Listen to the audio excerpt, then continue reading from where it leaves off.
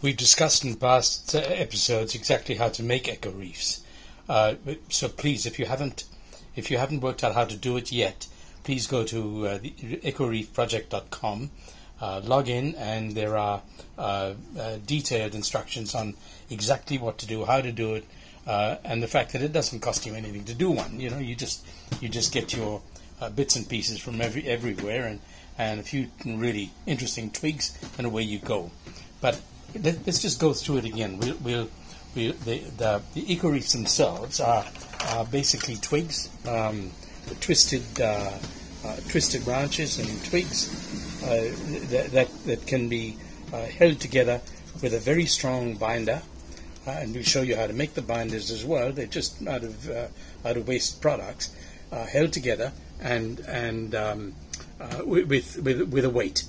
And what happens is within within the eco reef itself, it's got caverns where where mollusks and, and plants and uh, have have uh, have somewhere to shelter. So they they've got a weight, as I say, to pull them down and hold them into into a waterway, uh, and and at the same time protect.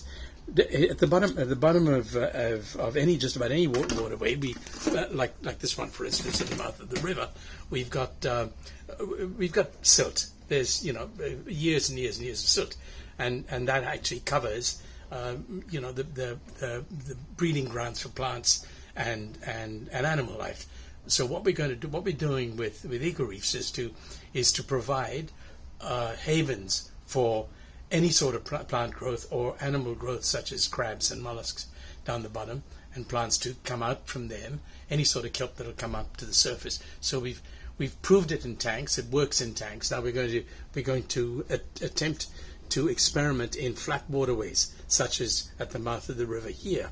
Uh, now we've we've uh, I'll just pause for a while because uh, uh, I'm going to try and configure them using uh, uh, using nylon string.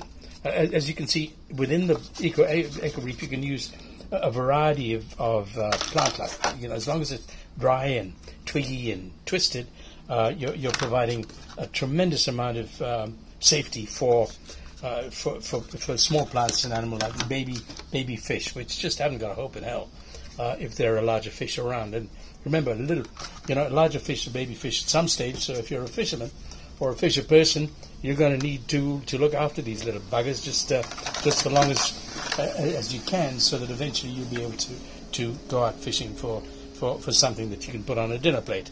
So let me just pause for a while while I get hold of some string and we'll, we'll, we'll work out how we're going to configure this particular eco reef uh, as an experiment. I've settled on, on a nylon rope uh, for this, um, this particular exercise for a couple of reasons. One, we're, we're, we're using plastic, waste plastic, as a binder for our for, for our reefs, right? Now, there are two ways to do it.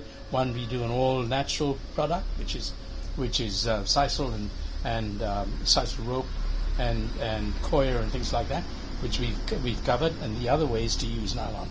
nylon, whatever nylon we use, got to last dozens of years, and we need to daisy chain these things so uh, our plastic reefs never are out of our control. We need to be able to get them back check them, use them, reuse them, clean them up, uh, you know, seed them with other plants and oysters and, and, and whatever we can, so that we, we're constantly working out how to how to actually get this thing to work and to to, to save our waterways. So yeah, in this case we're using nylon rope, and we're going to uh, we're going to configure this particular reef. Again, bear with me while I just sort of sort things out our early stage thinking was to to to daisy chain uh, eco reefs in in uh, in lengths so that we've got uh, uh, long lines of these reefs that we we toss into the edge of the waterways where they hold together and then then uh, grip each other so that we can have a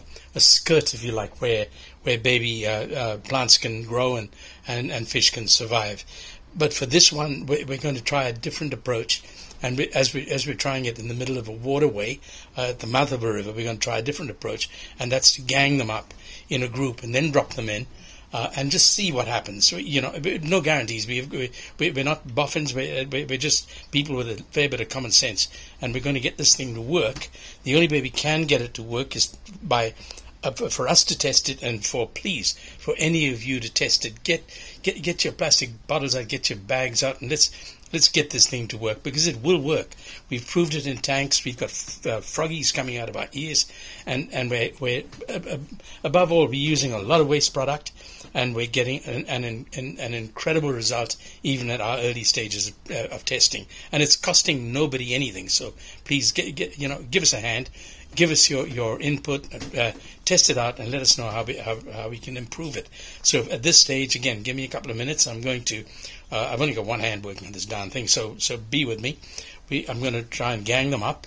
Uh, in fact, I will gang them up on on uh, on our rope, and we'll uh, then drop it in the waterways, and uh, we'll have to wait. Uh, and we'll check it once a week or twice a week and see see whether whether there's any sort of movement down there. There might be nothing. We're, we're not making any guarantees. There might be. They might just get come out clean and polished and ready to go to the next slot. But whatever we're doing, we have to keep testing. So please give us a hand. Now, hang on a minute, and, and uh, let me get this thing worked out into a, into a nice little ganged up bunch. Okay, so I've tied the little de- devils in a in a in a in a group. Uh, as you can see, they're they're uh, they're one on top of the other, and they're also intermingling with each other. So theoretically, theoretically, they're going to sit at the bottom and find themselves a niche uh, and a little nook there where they'll where they'll hang on to the ground and and stay where they're supposed to stay uh, for a while, right? They, again, as I say, if the tides are too strong, they're going to go every which way.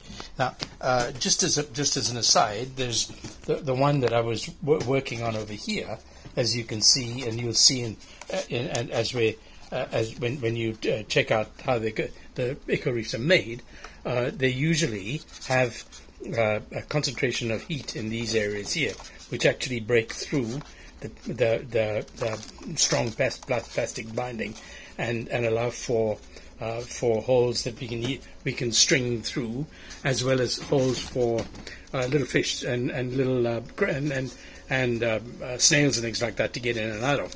Uh, and I blew it with this one, but having said that, it'll still work as an eco reef. It'll it's still got plenty of space for, for animal life and for plant life to take hold. Uh, so yeah, don't toss them away. All you got to do is take it back to take it back to to uh, uh, to to your, your bench or wherever you're doing your work, and uh, pu- push a hole in it with your heat with your heat gun. So let, us not waste anything.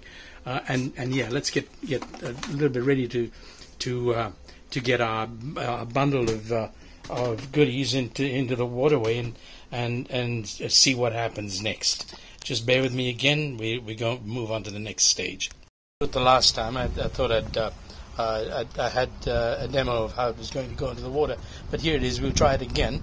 Uh, here's your bundle of eco reefs, uh, very tied very very securely together, and we go. We'll take her off the edge, uh, and we're, we're just at the bottom of, of a bridge here, right at the mouth of the river. So we'll we'll get our eco reef, and we'll uh, drop her in down to the bottom, till we can we can feel her sit right at the bottom of the water. We've got plenty of lead here on the on the rope. We can we can afford to to let it all go down. It's always me. It's always remember to keep your reel firmly anchored in a bucket or around the back or with give it to someone. Right now I'm working on my own. Uh, because Ben's uh, Ben's doing other things with the eco reef somewhere else. But yeah, so let it go, let it go down to the bottom and hold on uh, till we get as soon as she stops moving down there, you know, sitting at the bottom of the of, of the of the bay and in in a fair bit of sand. So then we take her, we just tie her up really nice and tight, uh, and and then we'll leave it. And, and so that, uh, and I'll show off my, my, my knots in a little while, but but uh, don't worry if I can't. It's uh, I've only got one hand, remember. But yeah, so everything's nice and secure and tight. We're going to leave her there for uh, for for this week, maybe uh, maybe a couple of weeks. But we'll be testing her every two or three days to find out exactly what, what what's going on down there. If we're getting any sort of form of life, and that's what it's all about now. Uh, really, this and we're at the we're at the bottom of the river now, and here she is. So here we go, and and uh, we're, we're we're right down the end of here on a beautiful waterway and we're going to try and find out whether we can improve fish stocks in in in a harbour here or in the worst harbours in the world. So so bear with us and give us a hand, please. Just let us know how you go.